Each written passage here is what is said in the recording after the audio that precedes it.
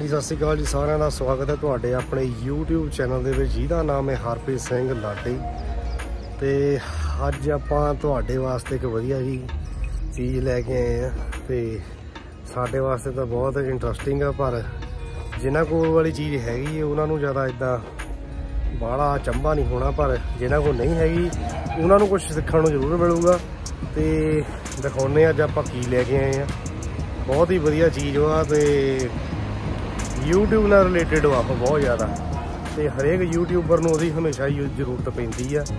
ਤੇ ਅਸੀਂ ਵੀ ਉਹ ਚੀਜ਼ ਅੱਜ ਲੈ ਕੇ ਆਏ ਆ। ਤੇ ਸ਼ੁਰੂ ਕਰਦੇ ਆ ਅੱਜ ਦਾ ਵਲੌਗ ਤੇ ਧੂਪ ਆਪਾਂ ਕਰ ਲਈ ਆ ਤੇ ਹੁਣ ਆਪਾਂ ਤੁਹਾਨੂੰ ਦਿਖਾਉਂਦੇ ਆ ਵਾਲੀ ਚੀਜ਼। ਤੇ ਜੁੜੇ ਰਹੋ ਵਲੌਗ ਦੇ ਨਾਲ। ਉਹ ਜੀ ਮਿੱਤਰੋ ਆ ਹੈਗਾ ਉਹ ਜਿਹੜਾ ਚੰਬਾ। ਇਹਨੂੰ ਚੰਬਾ ਹੋਣਾ ਚੰਬਾ ਹੋਣਾ ਤੇ ਸਾਡੇ ਵਾਸਤੇ ਚੰਬਾ ਹੀ ਹੈ ਕਿਉਂਕਿ ਅਸੀਂ ਇਹ ਚੀਜ਼ ਜਿਹੜੀ ਆ ਪਹਿਲੀ ਵਾਰੀ ਲਈ ਆ ਤੇ ਇਸ ਚੀਜ਼ ਦਾ ਹਰੇਕ ਯੂਟਿਊਬਰ ਨੂੰ ਜਿਹੜਾ ਹੁੰਦਾ ਆ ਵੀ ਮਤਲਬ ਕਿ ਚਾਹ ਵੀ ਹੁੰਦਾ ਤੇ ਜ਼ਰੂਰਤ ਵੀ ਹੁੰਦੀ ਆ ਪੂਰੀ। ਇਹ ਹੈਗਾ ਨੋਇਸ ਕੈਂਸਲੇਸ਼ਨ ਹੈਗਾ ਆ। ਤੇ ਆਪਾਂ ਇਹਦਾ ਰਿਵਿਊ ਕਰਨ ਲੱਗੇ ਆ ਤਾਂ ਇਹ ਸਾਨੂੰ ਪਿਆ ਆ 3000 ਦਾ, ਠੀਕ ਹੈ ਜੀ। ਤੇ ਅਸੀਂ ਇਹ ਕੱਲ੍ਹ ਹੀ ਲਿਆਂਦਾ ਹਾਲ ਤੱਕ। ਤੇ ਇਹਦਾ ਹੁਣ ਆਪਾਂ ਰਿਵਿਊ ਕਰਾਂਗੇ। ਲਓ ਜੀ ਮਿੱਤਰੋ।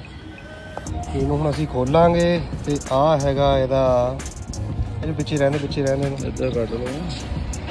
ਲਓ ਜੀ ਮਿੱਤਰੋ ਆ ਹੈਗਾ ਫੋਨ ਦੇ ਨਾਲ ਲੱਗਣਾ ਜਿੱਥੇ ਚਾਰਜਰ ਲੱਗਦਾ ਹੁੰਦਾ ਦੇਖੋ ਪੁਆਇੰਟ ਬਣਿਆ ਹੋਇਆ ਹੈ।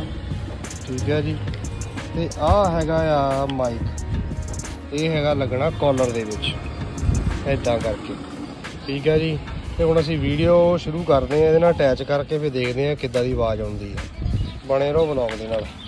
ਲਓ ਜੀ ਮਿੱਤਰੋ ਵੀਡੀਓ ਸਟਾਰਟ ਆ ਤੇ ਆਪਾਂ ਡੀਜੀ ਟੈਕ ਦਾ ਜਿਹੜਾ ਹੈਗਾ ਆ ਇੰਗਲਿਸ਼ ਮੈਨੂੰ ਘੱਟ ਹੀ ਆਉਂਦੀ ਬੋਲਣੀ।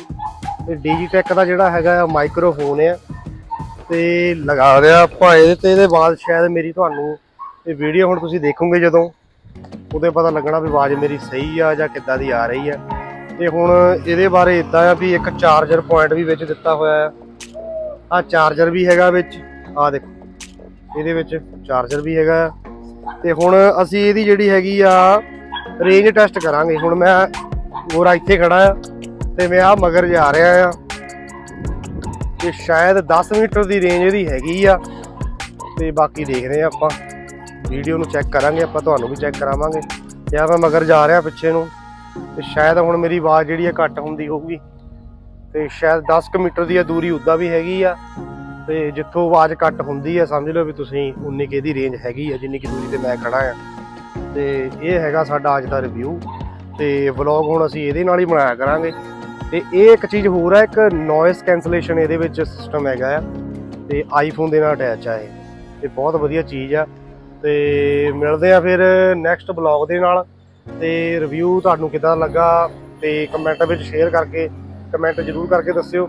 ਤੇ ਸਾਡੇ ਚੈਨਲ ਨੂੰ ਸਬਸਕ੍ਰਾਈਬ ਜ਼ਰੂਰ ਕਰਾ ਕਰੋ ਤੇ ਤੁਹਾਡੇ ਜਿਹੜੇ ਆ ਸਹਾਰੇ ਦੀ ਤਾਂ ਸਪੋਰਟ ਦੀ ਬਹੁਤ ਜ਼ਿਆਦਾ ਜ਼ਰੂਰਤ ਆ।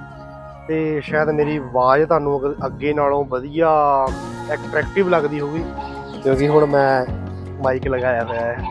ਮਿਲਦੇ ਅਗਲੇ ਵਲੌਗ ਦੇ ਵਿੱਚ।